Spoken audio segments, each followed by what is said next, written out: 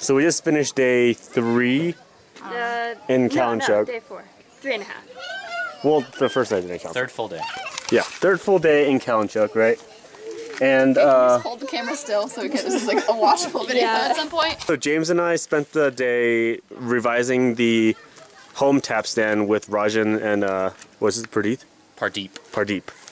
So that took a little while. We're making it, making the wall a lot thicker, stuff like that, yada yada. Uh, it's gonna be a pilot, so we're still working on like the minute details, but hopefully that gets done soon. Um, these two went to a school.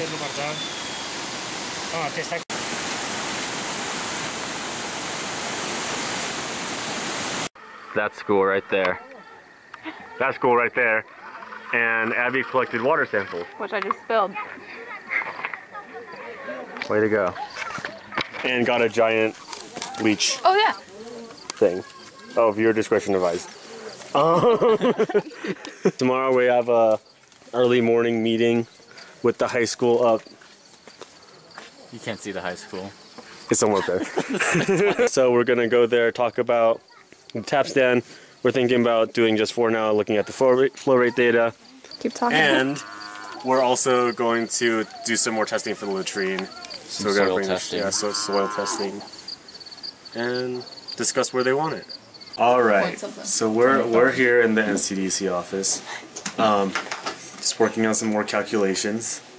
Uh, we're doing the final calculations for the materials today, and Abby and Emily went out to do some more water testing with Bhupal. How's everyone holding up? Fantastic. Cheers. Oh, I hope that got caught. I think it did. So yeah, we're making these uh, different calculations. I found a mistake in James's rebar calculations. I found a mistake in Daniel's. So.